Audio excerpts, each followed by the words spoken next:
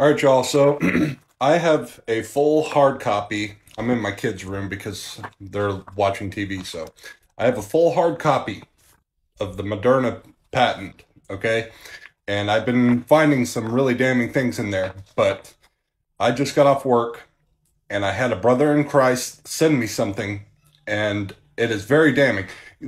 There's no more argument here on what this thing is. Okay. It is the mark of the beast. 100%. This thing has 666 written all over it. And just for proof, I'll show you on this patent. Okay, so just for proof, there it is, Moderna United States patent. I printed out all the pages, been highlighting a bunch of damning things.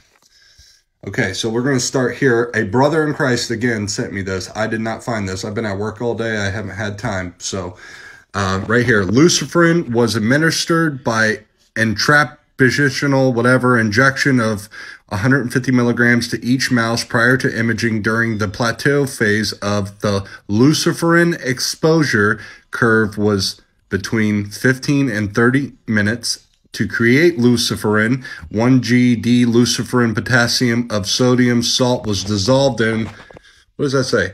Was dissolved in 66.6 milliliters of distilled phosphate this shot is from hell, y'all. I'm not joking, man. I'm not joking, bro. I I myself have found plenty of bad things in this. I found out that it, it gives you hepatitis C. It also has, I also found the luciferase in a different portion of it in the beginning. You know what? Since I have more time, I'll show you mRNA by providing enhanced protein expression of reduced immunogenicity, I can't say that word, in mammalian cell lines and mice. You know what that means? That means it lowers your immune system. Stimulates translations of hepatitis C virus RNA. Yeah. Don't worry, it gets better. A vital transcription of capping of Gaussian luciferase mRNA followed by HeLa.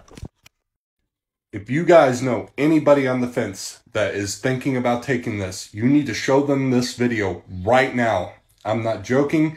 You need to share this with everybody, guys. This ain't no game no more. This is no joke. Again, I have the whole patent here. Okay? The whole thing. It took over an hour to print all these out.